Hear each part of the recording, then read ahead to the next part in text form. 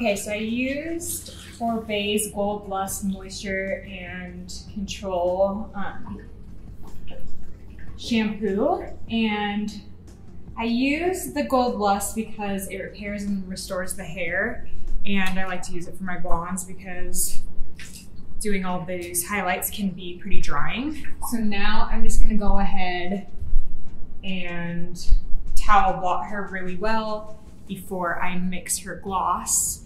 And the gloss that I apply will be sealing the cuticle down, giving the hair shine, and repairing it. And then it also shifts the tone of the hair so that it's not just like raw blonde highlights. Okay, so I'm gonna apply the gloss at her base first, and this one is just slightly darker than our second one, and then this one is going on just the end so that it pops a little bit brighter. So with this color applicator, I'll shake it downward and then I'm gonna go right along the hairline first.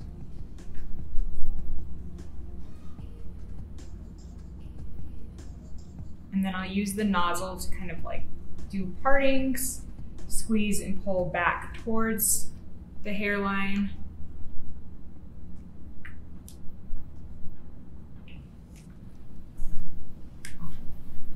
And then before moving on, I'll go in and work this throughout the base and make sure that everything is fully saturated.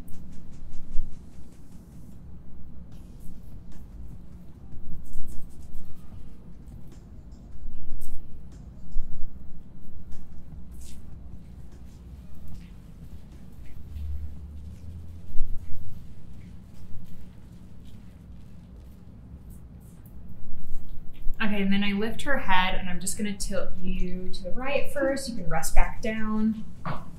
And then I'm doing the same thing down underneath where I'm gonna go ahead and put this right at the hairline. Use the nozzle, pull back towards it. And then make sure to really get in there. And wiggle it in so that everything's saturated there.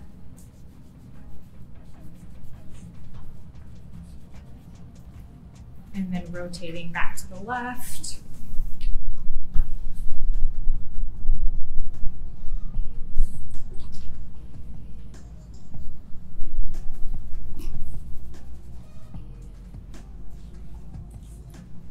And then I'm gonna lift her up and really work it into the nape section.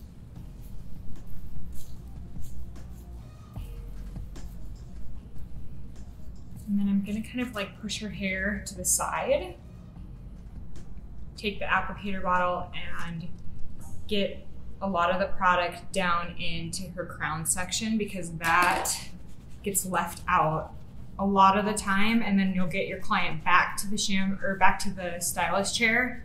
And then when you go to blow them dry you'll realize that you missed that section and then it hasn't toned it so it just looks more brassy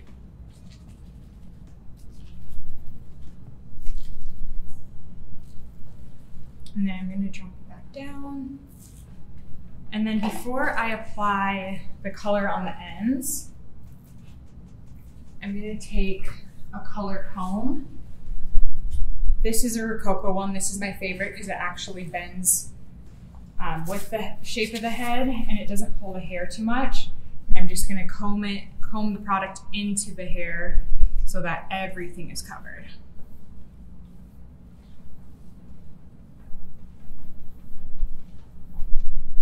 Rotate her again.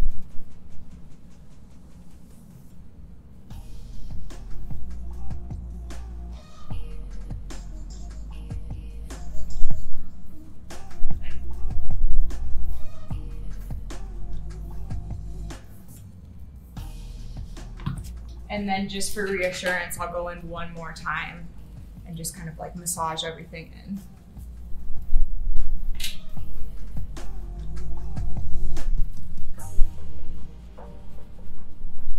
I shook up the base color since it is a little bit different or darker first, just to know for sure which is which. So then when I come over here, I'm like, okay, so this is the one that's going on first. And then I leave the one that's going on the ends and I don't shake it up until I'm right about to apply it because there's a lot of times you might get over here and be like, oh, I don't know which one is it, which you definitely do not want to accidentally put the lighter color at the base and then the darker one on the ends. And then this color comes out looking hot pink, which is very deceiving, but it definitely will not be pink on her hair.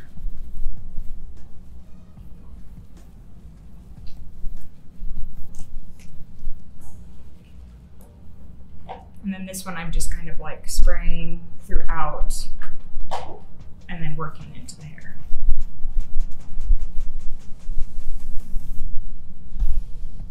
So these kind of just like melt together. You don't have to worry about them layering like over top of each other.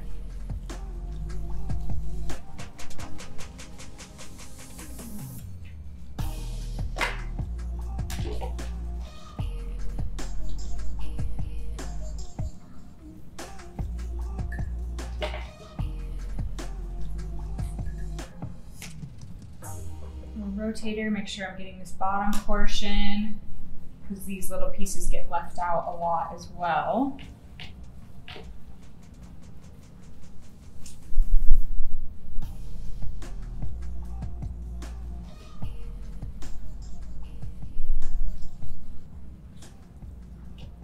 Okay, so we'll give that just a couple of minutes and then I'll rinse and condition and then we can go ahead and do the blowout. Okay, so first I'm gonna use Oribe's Priming Lotion. So this is a leave-in conditioner and a detangler. And so it's just a cream, it doesn't spray in. I'm just gonna put like a little dollop in my hand and then I'll work this throughout her hair before I brush it out.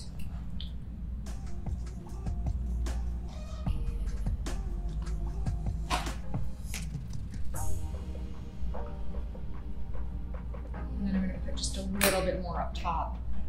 You don't need very much of this product. A little goes a long way, so don't go too heavy with it, and then it will last a long time too. I'll put just a little bit up here.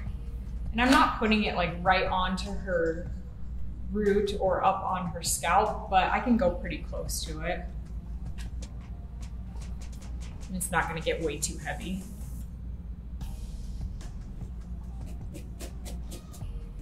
And then for my brush, I'm using a Balmain brush. So this one is 100% boar hair mixed with nylon. So it's designed to get through tangles without breaking the hair. And then once you get up to the base, it takes your natural oils and disperses them down through the hair. So this one isn't as damaging as like a typical flat brush. And then it feels really good on the scalp too.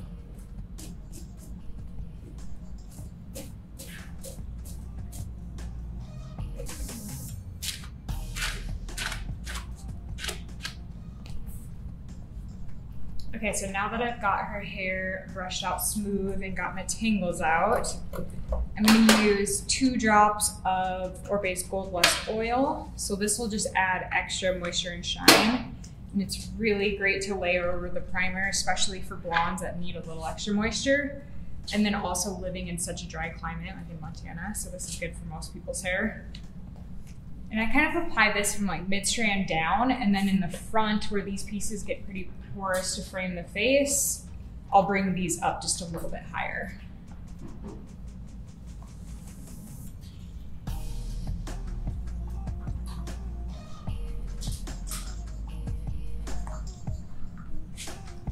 Okay, and then the last product that I wanna add before I start her blowout is the Maximista thickening spray, and I'm just gonna mist a little bit of that in up at her root. So just kind of like right in here, just to give her like a tiny bit of body. Okay, so this is Oribe's Maximista. Kind of just go in like little sections and mist a little bit into the hair. And you can spray this throughout the hair if you want to have a little bit of more um, volume through the rest, but I just like to put it right up at the base.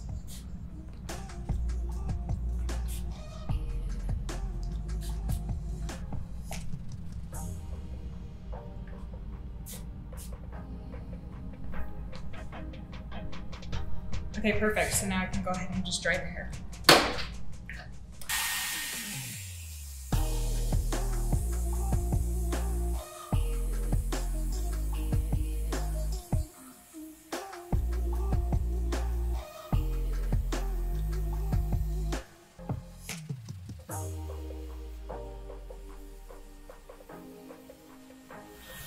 Okay, so I just removed about 70% of the moisture first and just did like a rough blow dry.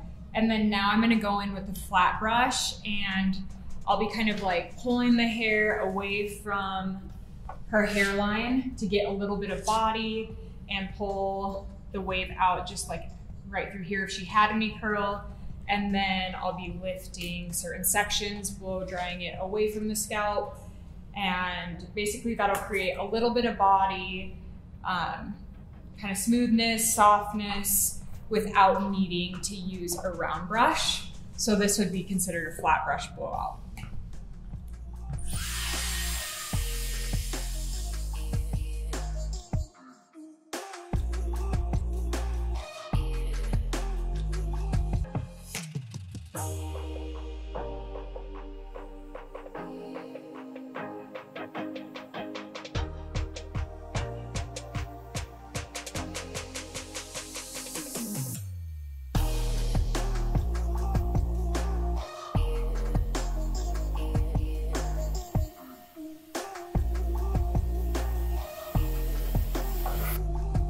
So we have her hair completely dry now. We've finished the flat brush blowout and then I'm just gonna go through for this first look and just smooth the ends a little bit.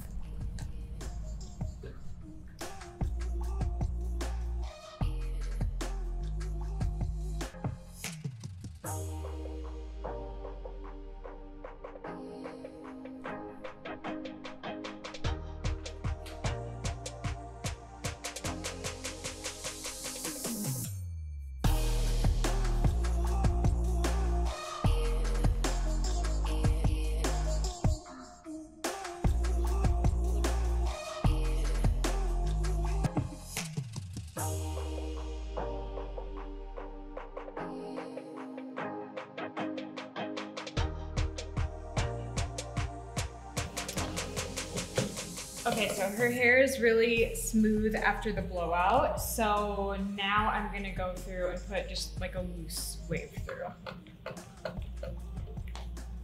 So I'm gonna use my Hot Tools Marcel curling iron and this one is an inch and a quarter.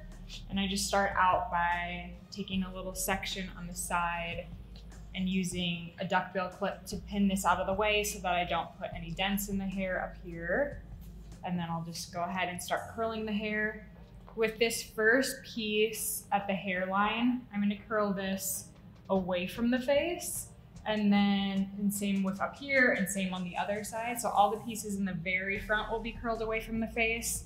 And then throughout the rest of the head, I'll be alternating to curl like this backward. The next one I'm gonna curl forward and I'm gonna rotate back and forth and that creates a little bit more of like a natural loose beachy wave.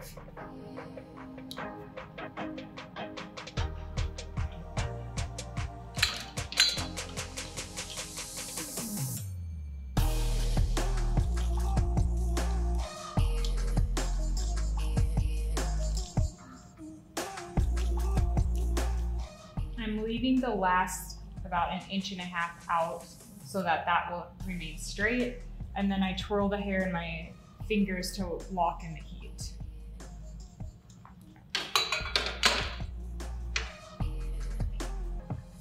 That's so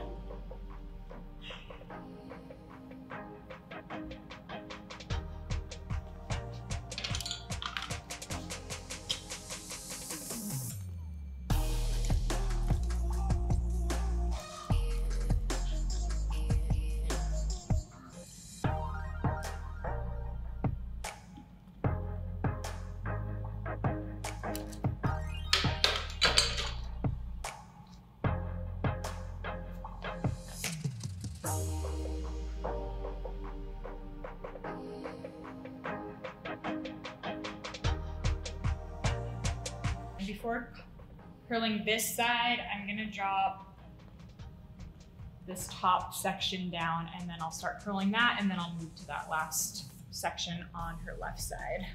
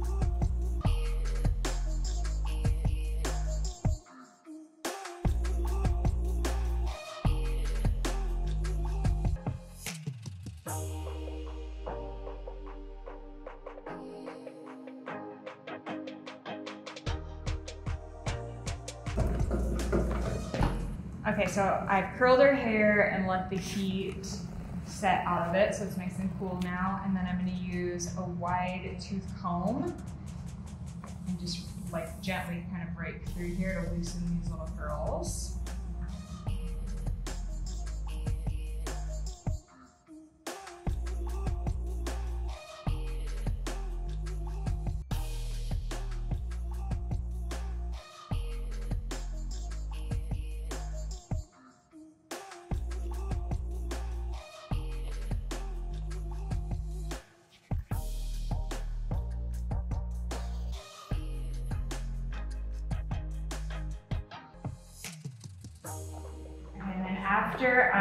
Combed that out, I like to spray a little bit of Oribe's Dry texturizing spray into it, just to kind of like rough it up a little bit and give it more texture.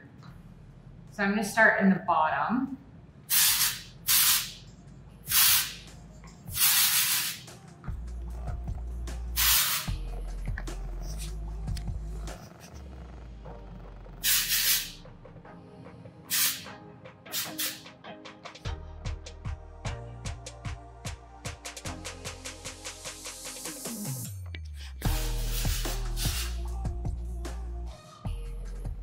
And then I'm just gonna spray a little bit up top. Sometimes I'll section this and put a lot throughout. And then on her, I don't wanna put too much in there today. I don't think she needs it. So I'm just gonna spray a little up top, kind of move that around and get a little bit in there to kind of like make it a little bit more messy and undone.